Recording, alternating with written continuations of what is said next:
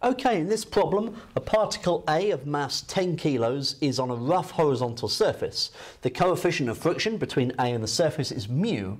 A is connected to a particle B of mass 4 kilos by a light inextensible string that passes over a fixed smooth peg.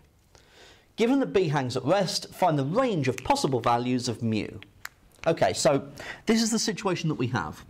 We've got this rough horizontal surface. Particle A sits on that and it's got a mass of 10 kilos, so a weight of 10 g. It will have a normal reaction force of R, and because it's a rough tabletop, we'll have a frictional force as well. So it's attached to another particle that is hanging off the table. Here's particle B, okay, and that has a mass of 4 kilos, so it's a weight of 4g. There will be tension in the string. And so this is the picture that we're looking at, okay? Now, as uh, B is hanging at rest, uh, the acceleration is zero, so we'll take that into account. So, part A.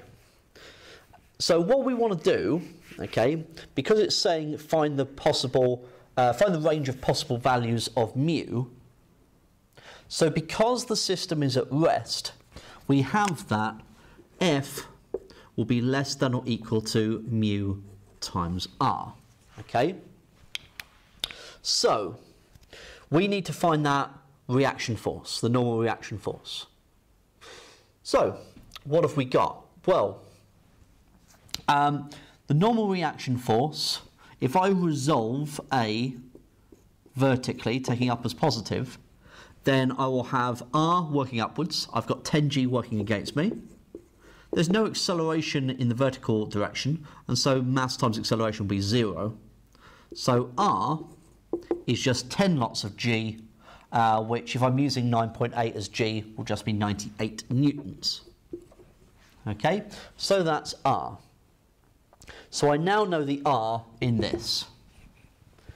Now what else can I use? Well, um, if I then look at resolving A horizontally, okay, so if I resolve A horizontally, taking to the right as positive, then I've got the tension in the string, take away uh, the frictional force, has got to be equal to mass times acceleration. But because the uh, system is at rest, the acceleration is zero, and so that's zero.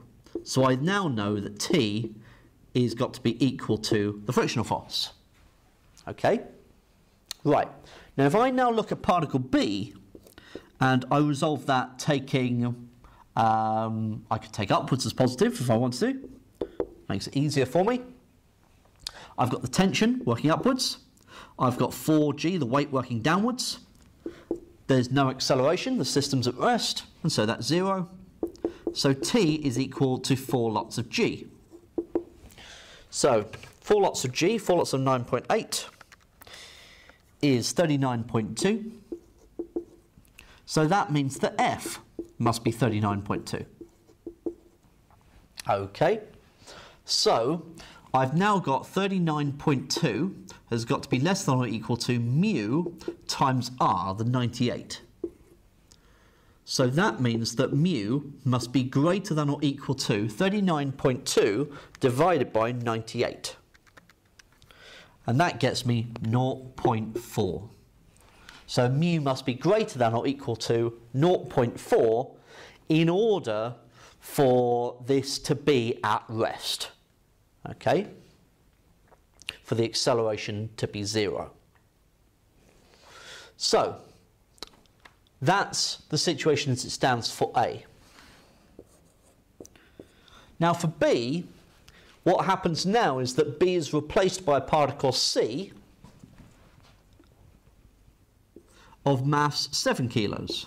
So C has a weight of 7g. Okay?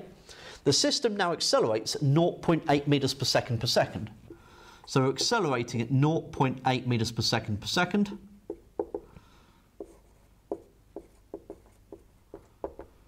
Okay, so this is what we now have. Okay, So, if I now resolve A in the direction of travel to the right, I'll have T take away F is equal to the mass 10 times the acceleration 0.8. Okay, so 10 lots of 0.8, which is just 8. So I've got that equation.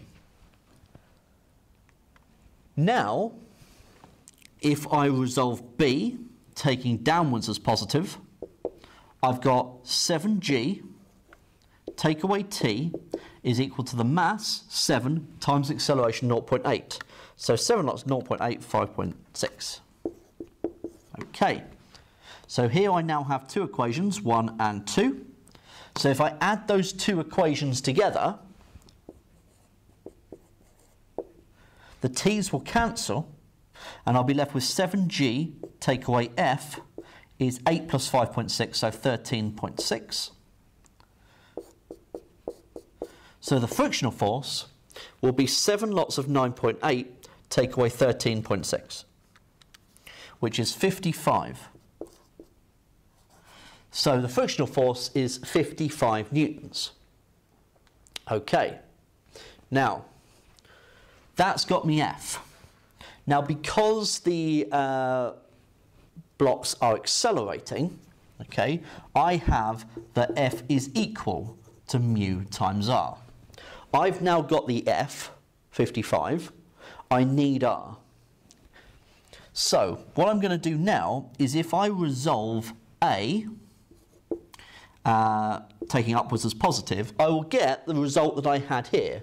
The normal reaction force should be the, exactly the same because I've still got R working upwards, I've still got 10g working downwards, and there's no acceleration in the vertical component, so it's still zero.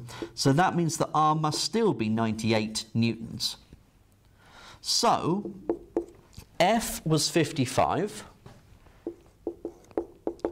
R is 98, so 55 divided by 98 is 0.56 to two significant figures. So mu is 0.56 to 2 sig fig. That is the coefficient of friction in the case for B.